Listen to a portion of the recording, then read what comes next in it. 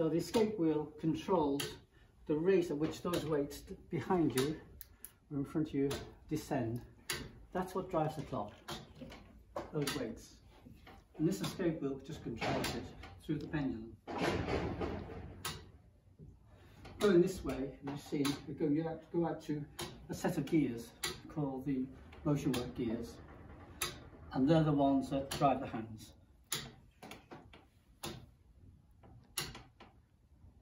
So this is a, a 17th century clock.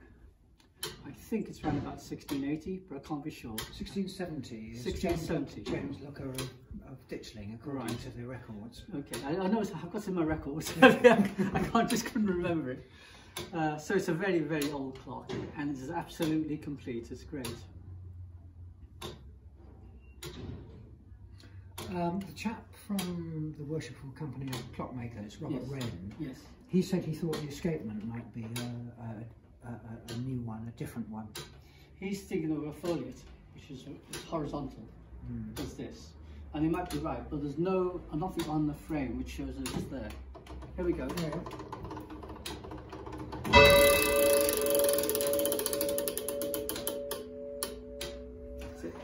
Now, you've only got one strike, obviously it's only one o'clock. So if you want to see it really busy, you have to wait till 12 o'clock again.